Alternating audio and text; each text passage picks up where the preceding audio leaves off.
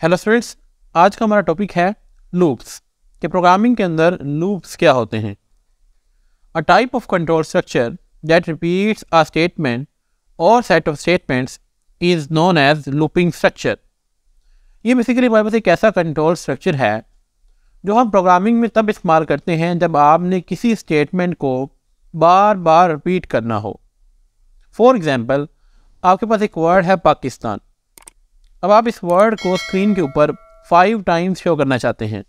यानी कि एक ही काम को आप पाँच दफ़ा कर रहे हैं। तो ये काम करने के लिए आप लूप्स का इस्तेमाल करेंगे।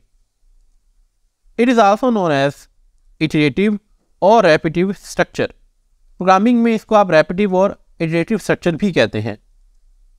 In sequential structure all statements are executed once अगर आपने सिक्वेंशियल स्ट्रक्चर का इस्तेमाल किया है तो उसमें आप अपनी स्टेटमेंट्स को एक सीक्वेंस के साथ एग्जीक्यूट कर देते हैं और सारी की सारी को एग्जीक्यूट कर देते हैं।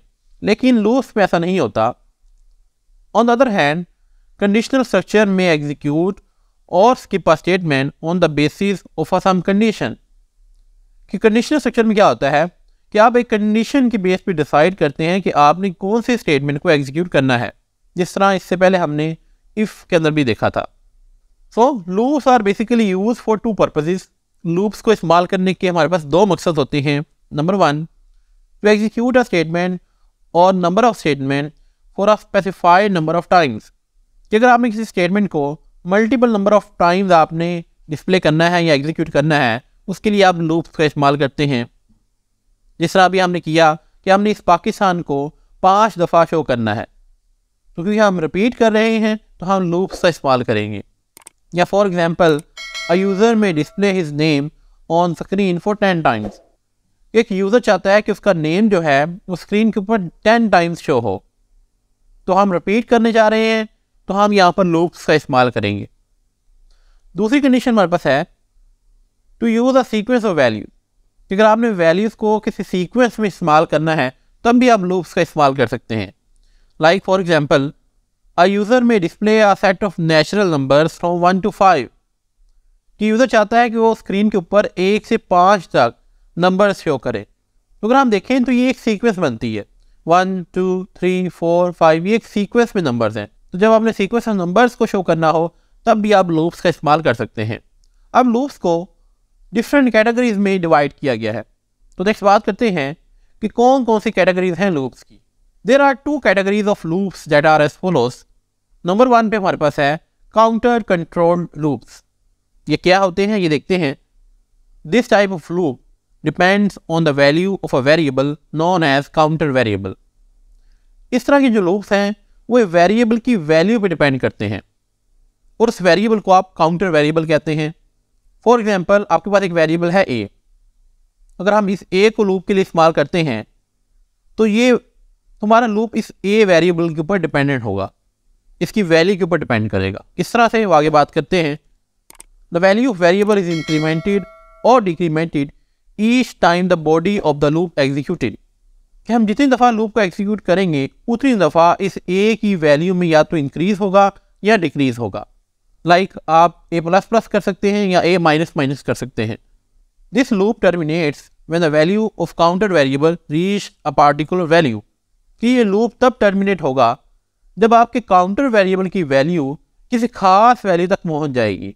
लाइक मैं कहता हूँ ए की वैल्यू जब टेन तक पहुँच जाए तो ये लूप बंद कर दो।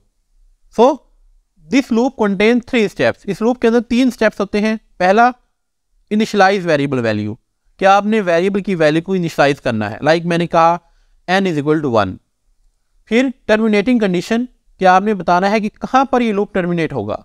मैं कह देता हूँ जब N less than equal to ten है, तब ये लूप चलेगा। और जैसे ही टेन से इंक्रीज कर जाएगा, ये कंडीशन फॉल्स हो जाएगी, तब ये लूप टर्मिनेट कर जाएगा। और थर्ड स्टेप है इंक्रीमेंट और डिक्रीमेंट या तो आप इसको इंक्रीमेंट करेंगे या डिक्रीमेंट करेंगे। यहाँ पर हम वन से टेन की तरफ़ जा रहे हैं, यानी कि इंक्रीजिंग ऑर्डर में जा रहे हैं तो मैं यहाँ पर एन प्लस प्लस यानी कि इंक्रीमेंट करूँगा। अब ये लूप बेसिकली मेरा टेन टाइम्स चलेगा। ये वन से स्टार्ट होगा और ये टेन तक चलेगा। और जैसे ही टेन से इंक्रीज होगी वैल्यू आपका ये लूप टर्मिनेट हो जाएगा। तो इस कैटेगरी के अंदर आपका लूप डिपेंड कर रहा है एन की वैल्यू के ऊपर। एन एक वेरिएबल है इसकी वैल्यू के ऊपर। तो ऐसे लूप को आप कहते हैं counter controlled loops second category आपके पास है सेंशल कंट्रोल लूप्स ये क्या होते हैं? This type of loop depends on special value non essential value इस तरह के जो लूप्स हैं, वो एक खास वैल्यू के ऊपर डिपेंड करते हैं, जिसको आप सेंटिनल वैल्यू कहते हैं। फॉर एग्ज़ाम्पल मैं कहता हूँ कि मेरे पास वैल्यू है टेन यानी कि ये लूप तब तक चलेगा जब तक ये वैल्यू नहीं आ जाती टेन वैल्यू नहीं आ जाती. The loop terminates with sentinel value is encounter यानी कि लूप तब टर्मिनेट होगा जब आपकी सेंटिनल वैल्यू जो है वो इनकाउंटर होगी. यानी कि जब ये वैल्यू टेन आ जाएगी तो मेरा लूप टर्मिनेट हो जाएगा. For example a loop may execute while the value of a variable is not ten कि हमारा लूप तब तक चले जब तक हमारे वेरिएबल की वैल्यू टेन नहीं हो जाती.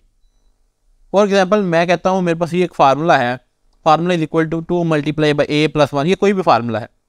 और मैं इसके ऊपर लूप लगा देता हूँ। कि ये फार्मूला तब तक एग्जीक्यूट होता रहे, जब तक आपकी इस फार्मूले की जो वैल्यू है, वो टेन नहीं हो जाती। जब भी इस फार्मूले का आंसर टेन आएगा तो ये लूप टर्मिनेट हो जाएगा। अगर ये टेन नहीं आता तो ये लूप आपका चलता रहेगा। तो जैसे ही फार्मूले की वैल्यू टेन होगी तो ये लूप आपका ख़त्म हो जाएगा। तो ये हमारे पास कहलाता है सेंटिनल कंट्रोल लूप्स सो ये दो टाइप्स के लूप्स हम अपनी प्रोग्रामिंग के अंदर इस्तेमाल करते हैं। आई होप आपको क्लियर हो गया होगा कि लूप्स क्या हैं और लूप्स की कौन कौन सी कैटेगरीज होती हैं। आज के लिए इतना ही। मिलते हैं नेक्स्ट लेक्चर के अंदर। Thank you very much